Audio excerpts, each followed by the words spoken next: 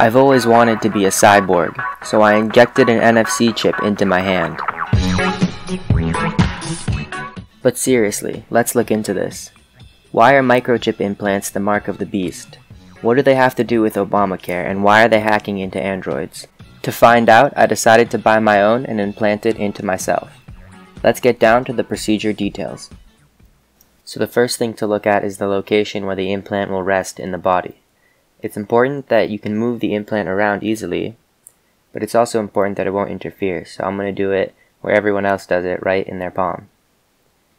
It's not exactly going to be in the palm, it's actually going to be in between the pointer finger and the thumb. It seems as if it's become a standard practice to put the chip in that location. Now looking at an anatomical model of the bones in the hand, we can see that we need to avoid the metacarpal of the thumb the second metacarpal of the pointer finger, and then get right in between there. So we can look for the trapezium, and then the two metacarpals which will stand out obviously on the fingers, and then shoot for a spot in the middle. So now looking at my actual hand, what I can do is find the trapezoid, leave a mark there, then draw a line down the second metacarpal and follow through all the way to the wrist. And then at the midway point, leave a mark. So that's a halfway mark. Find the center of that lump, and then that's basically where I'm going to want the implant to stay. Okay, so now switching angles, we can see that halfway mark down the middle of the pointer finger. And we followed it through to the lump. So now we need to think about the trajectory that the needle is going to make coming into the point where we want the probe to rest. So so far the line I have right now is a little too close to that index finger knuckle. So my plan is to follow this red marker's path with the needle and hit that same spot. This way I can avoid hitting the knuckle. So if you imagine this red marker is the needle, I'm going to follow that red line until I hit that point, then deposit the chip. Alright, so to get ready for the procedure, I'm just going to wash my hands with a good antibacterial soap, making sure to get the arms too, and then lay down a good work surface for me to work on. So let's see what I have to make this happen.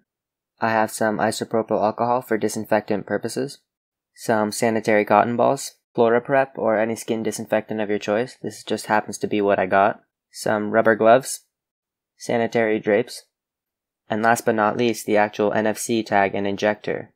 This is the one I bought online. So the first thing I did was lay down the drapes, create a nice sanitary area also make sure that your work area is well lit because you don't want to be in the dark. If you're doing this alone, it's definitely more important to have a well thought out process so that you have everything you need when you need it. Following the outline I traced before, I marked the final location where the tag was going to rest. I tented the skin vigorously in order to break the skin loose of the fascia. This would allow the needle to slide between the fascia and the skin, and also allow the tag to rest between them. Then I disinfected the skin with some alcohol and ChloraPrep. I was pretty nervous at this point, but I pulled the injection assembly out of the package, gave a final rinsing with the ChloraPrep. I pulled out the retaining tag on the injection assembly, took the cap off the needle, and I was ready to go. All I remember thinking was, wow, this needle is huge. But I didn't really have a choice at this point, because I already pulled it out of its packaging and it was, and it wasn't clean anymore, so I just went for it. I squeezed my thumb close to the palm of my pointer finger. And, I mean, I didn't really know what to do. I just started pushing the needle into the skin.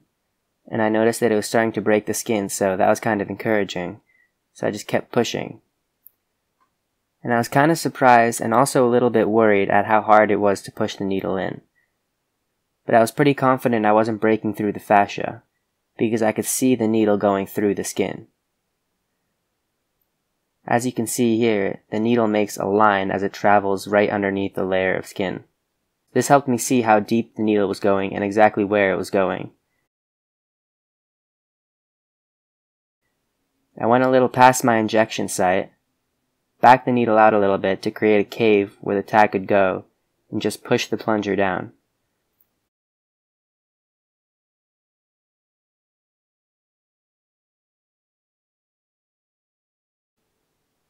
Then I just pulled the needle out, and I was surprised that it wasn't really bleeding that much.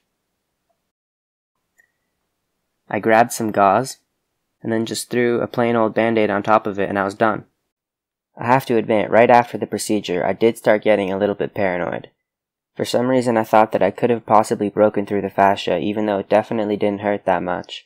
If you're going to do this to yourself, I highly recommend you stay away from any kind of numbing cream or pain medication. This is because while I was doing it, besides being able to see the needle under the skin, I could actually feel where it was going, and this was really important because it helped to make sure that I didn't go too deep, and it also helped to make sure that the needle was going in the right place. You really need to retain the feeling in your hand. So this is what my hand looks like about 13 to 15 hours after the procedure. As you can see, there is very little, if at all, any swelling in the hand. This was only an experiment, it just happened to be on myself, but I cannot condone doing this on yourself, and it's really important that you understand the risks and whatever factors are involved in performing this.